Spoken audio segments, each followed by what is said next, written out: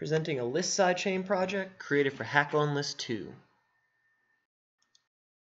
Presenting Doom on Lisk, a Lisk hackathon project by Superfly and Ultrafresh. Uh, due to limitations to the project, we weren't able to get the sound to work. So, we're going to give you the iconic music here for the demo.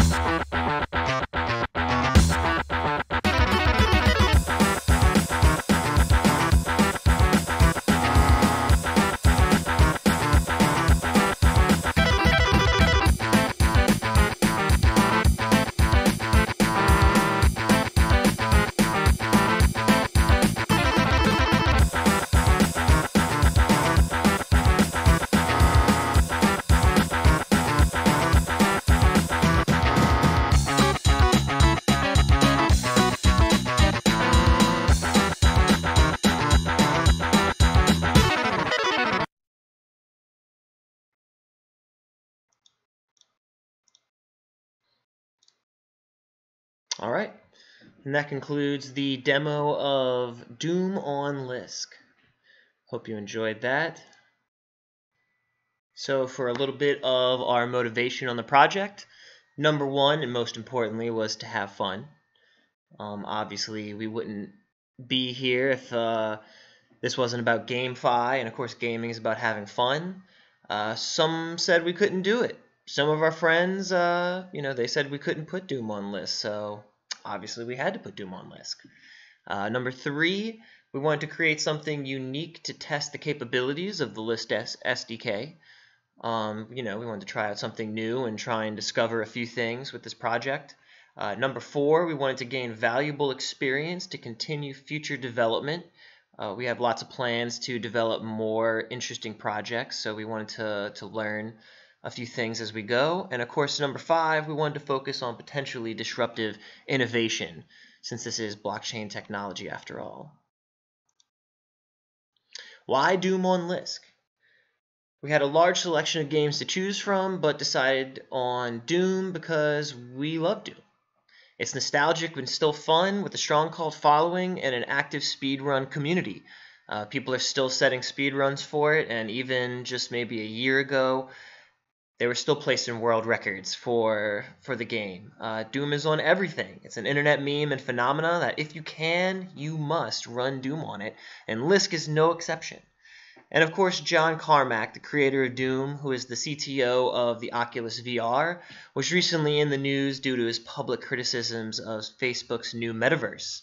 So Doom still seemed just relevant enough to work with. And of course, Doom on Lisk demonstrated four key features. It demonstrated cloud gaming. The game is hosted on a, remote, a remote server, and we were accessing it through our browser. Uh, it demonstrated decentralized streaming. You were able to view live gameplay from another browser, so you could have multiple users uh, viewing one player streaming. And then, even more than that, we were able to show unique multiplayer functionality.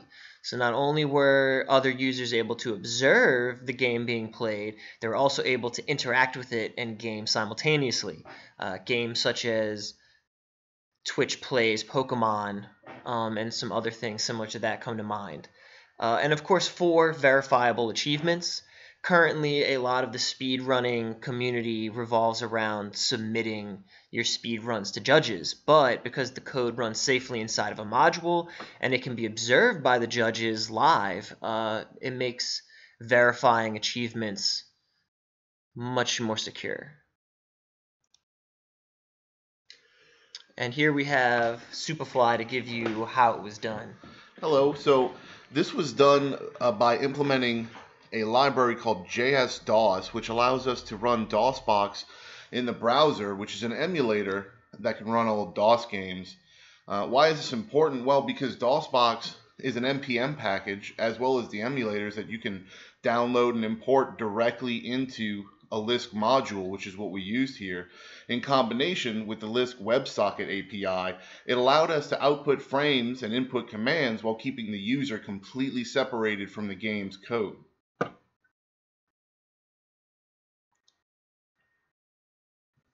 So what did we really show here?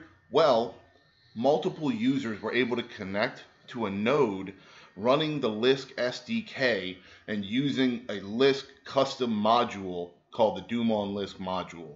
This kind of proves that decentralized cloud gaming and cloud arcades are entirely possible on Lisk. One thing that we would like to see in the future is non-blockchain lifecycle events to improve video and audio streaming capabilities. One of the reasons we weren't able to have audio in our demo is because there was no way for us to send that streaming data out from the module, or at least that we could figure out.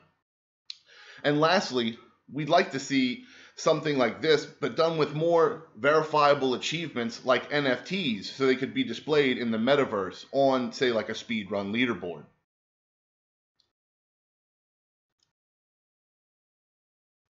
Thank you for watching. And we'll leave a link for a live demo, so if the judges wish, they can play Doom on Lisk for themselves. Thanks for watching.